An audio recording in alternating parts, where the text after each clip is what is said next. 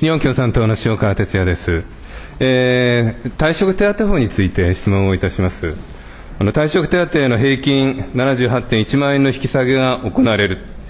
この退職手当の5年ごとの一方的な見直しは公務労働者の障害設計に大きな影響を及ぼすものであります。退職手当は人事院の見解にあるように退職後の生活を支える重要なものであり職員は現行の退職手当の支給水準を見込んで生活設計を立てています。高年連層にとっては、総合的見直しの減給保障終了で賃下げが行われます。年金支給年齢の引き下げ、あ引き上げ、え民間は退職後フルタイム再雇用だとしても、公務の場合には定員管理のために、まあ、フルタイムではなく短時間の再任用。このように退職後の生活に不安を抱えているわけであります。大臣に伺いますけれども、こういったあの退職手当の引き下げというのは、退職後の生活に大きな不安を抱える、そういう高年齢層のお気持ちが分かりますか？梶山大臣。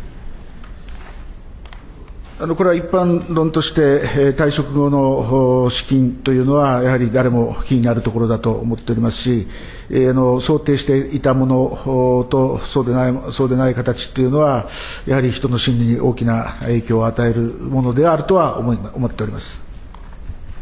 塩川君あの。そういった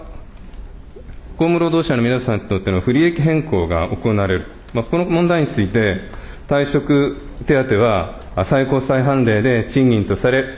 えー、解説である公務員の退職手当法紹介でも、賃金の後払い的な性格を有しているとしています。でそこであの人事院にお尋ねをいたしますが、4月11日に示されたあの人事院の見解では、国家公務員の退職給付は、職員の退職後の生活設計を支える勤務条件的な性格を有していると述べておりますが、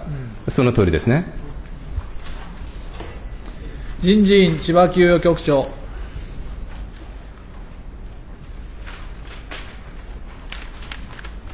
お答えを申し上げます。あの見解で述べた通りでございます。塩川君。人事院は退職手当の労働条件性を認めているわけです。あの政府に伺いますが、政府としても退職手当は労働条件だと認めるべきではありませんか？内閣官房上田人事政策統括官。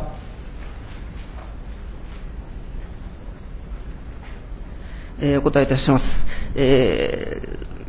ー、退職手当の制約といたしましては、あ委員ご指摘のように、賃金の後払い、あるいは生活保障という側面と加えて、えー、金属報奨という側面があると考えておりまして、政府としては、あ性格としては金属報奨の性格が一番強いものというふうに思っております。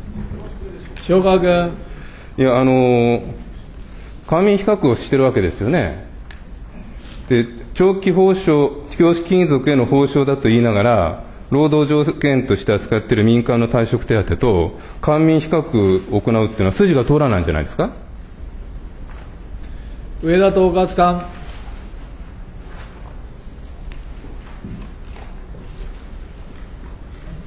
えー、人事に私ども退職手当について加盟比較のお願いしておりますけれども、これはいわゆるあの法律上の法律上に基づいた人事の権能としての勧告を求めているわけではなくて、えー、専門的機関としての人事の意見を求めているという理解でございます塩川君。いやですから、そもそも官民比較をする際に、民間の場合については、その労働条件性を認めている、まあ、この点については、公務についても人事院はそういうことを認めているわけですから、これ、比較をする際に、法省的な性格っていうことでね、言っておきながら、実際には官民比較、民の方は労働条件性を持ってやってると、筋が通らないんじゃないのかって聞いてるんですが、もう一回。上田統括官。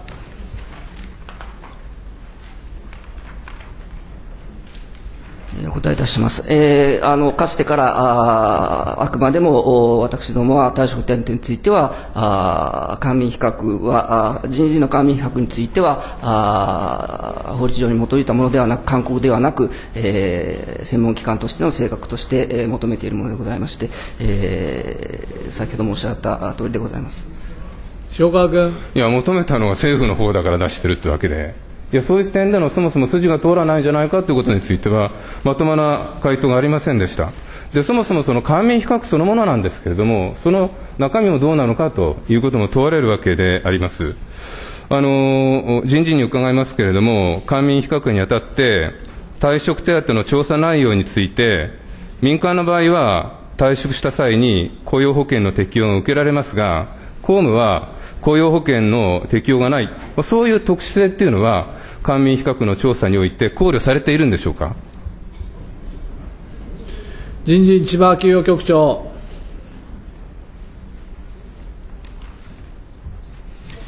答え申し上げます。えー国家公務員の退職給付は、職員の退職後の生活設計を支える勤務条件的な性格を有しておりまして、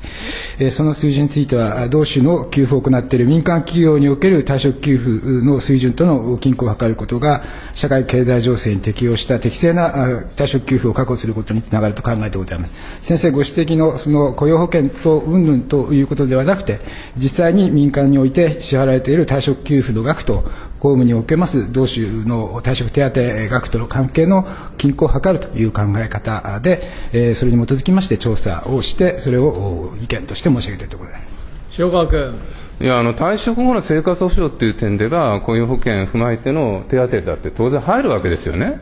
民間では出るのに、公務では出ないわけですから。退職後の生活設計を考える上での退職手当の支給のあり方について、官民比較って言うんだったら、なんでこういった雇用保険のあるなしについては、比較の対象にしないんですか？千葉局長、繰り返して恐縮ございますが、退職給付における民間の状況と公務における退職手当額との均衡を図るということがあ必要であるというふうに考えて調査をいたしております。塩川君、だから調査の中身自身がね、非常に限定的だし、不透明なんですよ。あの、公務のやっぱり特殊性っていうのはそもそも配慮を考慮されてるのかって問題なんですよね。で公務運営の公正中立性の確保が求められていることとか、厳しい再就職規制と退職後も課される守秘義務とか、今述べたような雇用保険の適用がないなど、公務の特殊性を踏まえた官民比較になっていないんじゃないのかと聞いてるんですが、その点どうですか？千葉局長、お答え申し上げます。繰り返して恐縮ございますが、民間における退職、一時金、退職関係の年金額と、公務における大抵の状況ということで、えーその把握をし、その均衡を取るべく調査をいたしております。塩川君、いや、だから答えてないわけですよ。比較の対象を、ね、官民比較って言うんだったら、きちっと広げてやるべきなのに、それやってないってことじゃないですか。で、それはそもそも調査を求めた政府の方がそういう立場だっていうことですか？人事の方なんかあれば、加えてちょっと政府の方もどうか、内閣人事局、内閣官房、上田統括官、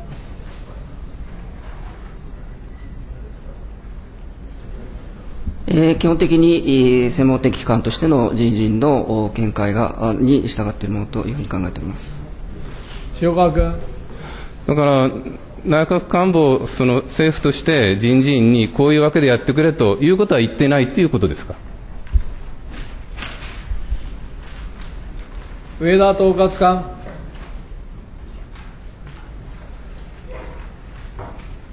えーお答えごごえーお答えいたします。えーご指摘のような形ではあ申しておりません。塩川君、じゃあ人事院もう一回答えてください。千葉局長、